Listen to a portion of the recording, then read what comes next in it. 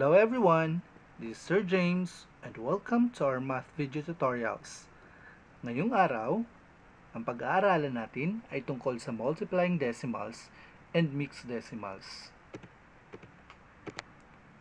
At para sa ating objective ngayon, we're going to multiply decimals and mixed decimals with factors up to two decimal places.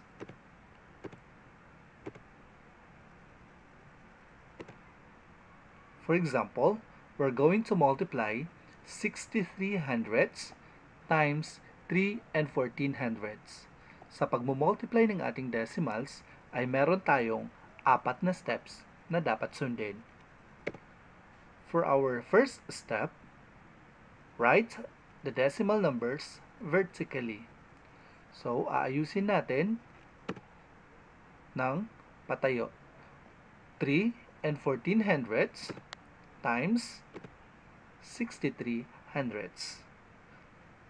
Pagkatapos nating maayos ito, step number 2, multiply the decimal numbers like whole numbers. So, ang trick dito, kung marunong ka mag-multiply ng whole numbers, ay madali na lang para sa iyo mag-multiply ng decimals. Kung paano tayo mag-multiply ng whole, ganun din po tayo mag-multiply ng decimal numbers. So, ang gawin natin, i-disregard muna natin ang ating decimal point. Start with 3. So, 3 times 4 is equals to 12. Carry 1. 3 times 1 is equals to 3. Plus 1 is equals to 4. 3 times 3 is equals to 9. So, pagkatapos ng 3, ang next natin ay 6. 6 times 4 is equals to 24. So, since nasa second digit na tayo, dapat ay sulat natin dito ay 0. Sulat natin yung sagot. 24, carry 2. 6 times 1 is equals to 6 plus 2 is equals to 8. And 6 times 3 is equals to 18. Next step, we're going to add the partial products. Ang ating partial product ay ito, 942 plus 18,840. We're going to add 2 plus 0 is equals to 2. 4 plus 4 is equals to 8. 9 plus 8 is equals to 17. Carry 1. 1 plus 8 is equals to 9. Then, bring down 1. So, ang trick dito sa pagmumultiply natin ng decimals eh kung saan natin dapat ilagay ang ating decimal point sa ating final product. So, for our step number 4, or the, our last step, count the decimal places of the factors and put on the decimal points after the last decimal place. So, ang ibig sabihin nito, bibilangin natin kung ilang decimal places ang ating mga sa ating mga factors. Unahin muna natin sa ating multiplicand. So, sa pagbibilang ng kanyang decimal places, lagi tayo magsimula dito. So, we're going to count how many places? 1, 2. So, ibig sabihin, there are 2 decimal places in our multiplicand. Next, in our multiplier. So, we're going to count also the decimal places in our multiplier. Start from here. So, 1, 2. We also have 2 decimal places in our multiplier. So, dalawa sa ating multiplicand, dalawang decimal places din sa ating multiplier. So, ibig sabihin nun ay dapat meron tayong 4 places sa ating final product. So, ibig sabihin, we're going to count 4 decimal places from here. So, if we count 1, 2, 3, 4. Ibig sabihin, ang ating decimal point will put between 1 and 9. So, therefore, our final product is 1 and 9,782 ten thousandths. Okay, para mas maintindihan pa natin, bibigyan ko kayo ng isa pang example. Example, we're going to multiply 2 and 4 tenths times 5 and 72 hundredths. So again, we have four steps to be followed. For step number 1, write the decimal numbers vertically. So ayusin natin ito patayo. We have 5 and 72 hundredths times 2 and 4 tenths. So kung napapansin niyo kung paano ko siya inayos, okay, unlike dun sa ating mga naunang video, sa ating naunang lesson about adding and subtracting decimals, doon dapat ang ating decimal point ay naka-align.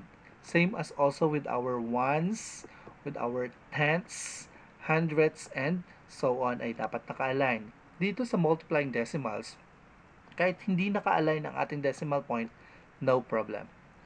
After nating ayusin pa tayo, step number 2, multiply the decimal numbers just like multiplying whole numbers. So, parang nagmo-multiply lang tayo ng whole numbers. So, ang trick natin, we're going to disregard first the decimal point here. So, wag muna natin pansinin ang ating decimal point dyan. So, start at 4. So, 4 times 2 is equals to 8. 4 times 7 is equals to 28. Carry 2. 4 times 5 is equals to 20 plus 2 is equals to 22. Next, tayo sa ating second digit. So, dahil nasa pangalawa na tayo, dapat ang isulat natin sa ilalim ng 8 ay 0. 2 times 2 is equals to 4. 4 will be written below 8. 2 times 7 is equals to 14. Carry 1. 2 times 5 is equals to 10 plus 1 is equals to 11. Next, step number 3. Add the partial products. Ito ang ating unang partial product. Ito naman yung ating ikalawang partial product. So if we're going to add 8 plus 0 is equals to 8. 8 plus 4 is equals to 12. Carry 1. 1 plus 2 is equals to 3 plus 4 is equals to 7. 2 plus 1 is equals to 3 and then bring down 1. So, next step, we're going to count the decimal places of the factors and puts on the decimal point after the last decimal place. Huwag nating kakalimutan na ilagay ang ating decimal point. Ang trick dito, saan natin ilalagay. So, para malaman natin ang tamang placement ng ating decimal point, we're going to count the decimal places of our factors. So, ito yung ating factors. Multiplicand, ilang decimal places? We're going to count from here. So, 1, 2. Ibig sabihin, sa ating multiplicand, we have 2 decimal places. Next, how many decimal place in our multiplier? So, we're going to count from here. Sa kanan. 1. So, in our multiplier, we have 1 decimal place.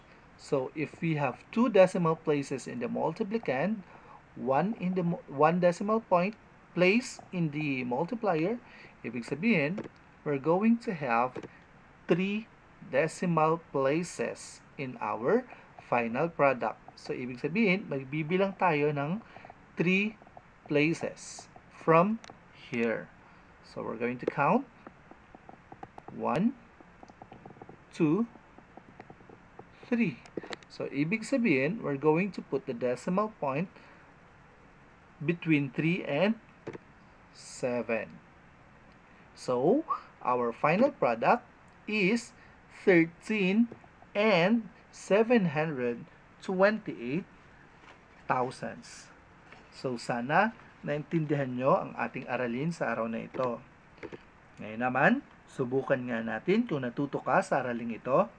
Maaari mong sagutan ang mga sumusunod na katanungan sa pamamagitan ng pag-post ng videong ito. Dahil sa susunod kong slide ay ipapakita ko naman ang tamang sagot.